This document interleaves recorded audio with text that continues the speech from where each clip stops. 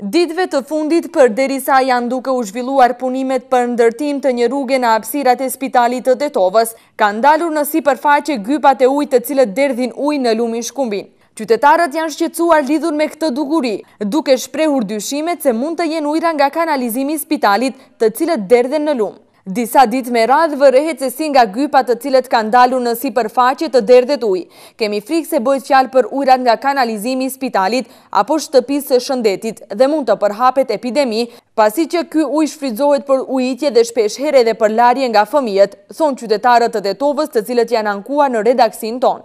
Ndryshe, gypat kanë dalur në sipërfaqe para një kohe që nga fillimi i punëve për rregullimin e rrugës. Lidhur me këtë problem dhe shqetësim të banorëve të Tetovës, autoritetet përgjegjëse kanë hedhur poshtë se bëhet fjalë për ujëra të zeza, por sipas tyre bëhet fjalë për gypa të qendrës automekanike dhe nxemjes qendrore.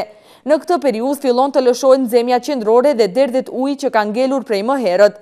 Kanalizimi i spitalit është i lidhur me rrugën para spitalit dhe nuk derdhet në lumin Shkumbin, thonë autoritetet spitalore.